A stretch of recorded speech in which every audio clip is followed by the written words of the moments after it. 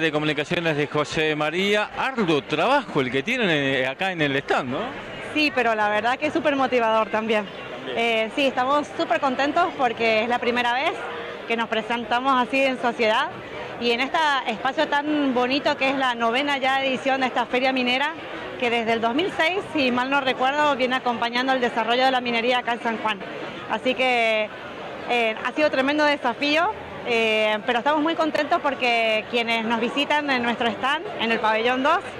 lo primero que se van a encontrar es con el equipo de José María. Estamos todos, bueno, parte del equipo involucrados en hacerle un recorrido a los visitantes y contarles qué es lo que estamos haciendo en José María, de dónde venimos, cuál es nuestra historia, en qué momento nos encontramos ahora y un poco hacia dónde vamos. Así que bueno, bien, muy contentos. Hablaba recién con, con Iván y le decía, bueno, José María es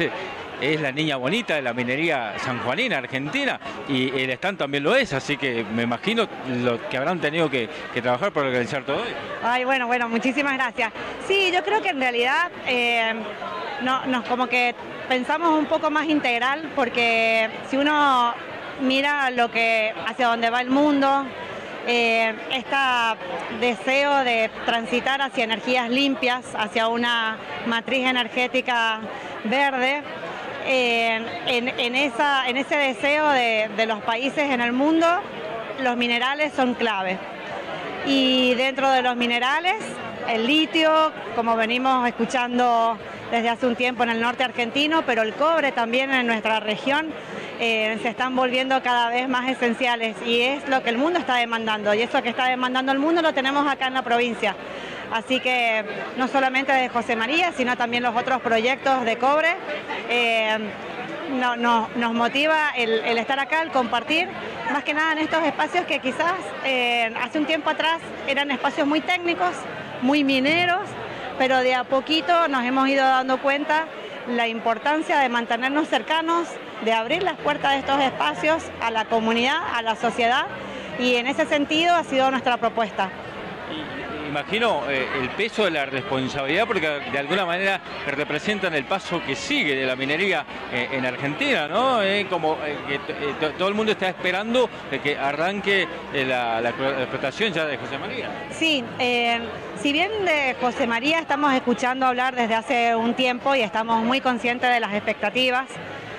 José María comenzó a explorar acá la cordillera argentina, va a ser ya casi 20 años, desde el 2003 que fue la primera campaña de exploración. Ya pasaron 12 campañas como la última que hemos terminado, con objetivos súper ambiciosos y porque en el medio presentamos el informe de impacto ambiental y la Autoridad Minera de San Juan nos otorgó la declaración de impacto ambiental. A partir de ahí, a partir de la día, comenzó un periodo en el que estamos transitando en este momento que tiene que ver con la obtención de los permisos sectoriales, que es un proceso también largo, súper técnico, en el que participan muchos organismos, tanto municipales, provinciales y nacionales, pero también estamos transitando un periodo de ingeniería básica. ¿Qué significa esto? Que venimos de una ingeniería conceptual y a partir de toda la información que nos está volcando la campaña de exploración, más otras variables que también tenemos que tener en cuenta, como lo que está sucediendo a nivel mundial con la inflación, lo que sucede también en el contexto del país, estamos haciendo una actualización del proyecto para poder lograr un buen cronograma de trabajo con esas fechas que nos están pidiendo a ver cuándo comienza la, la construcción.